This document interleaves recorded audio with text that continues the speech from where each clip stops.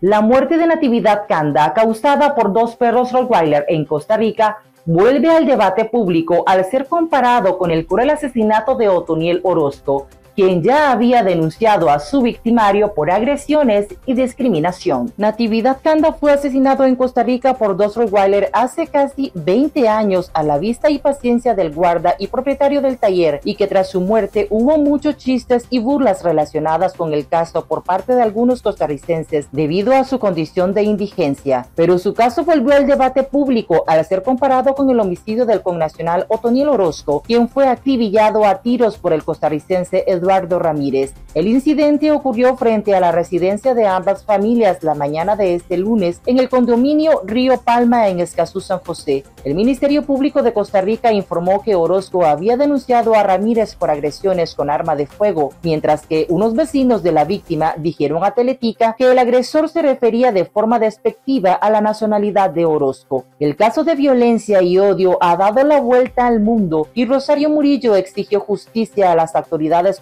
costarricenses por el asesinato de Orozco y solicitaron a través de la Cancillería un informe policial completo del caso. Además, se supo que este miércoles el cuerpo de Orozco de 53 años, padre de cuatro niños, fue repatriado a Nicaragua mientras su agresor guarda prisión preventiva mientras es procesado por el crimen que quedó registrado en un video donde con claridad se ve cómo el agresor desenfundó el arma, la colocó en su cintura y se preparó deliberadamente para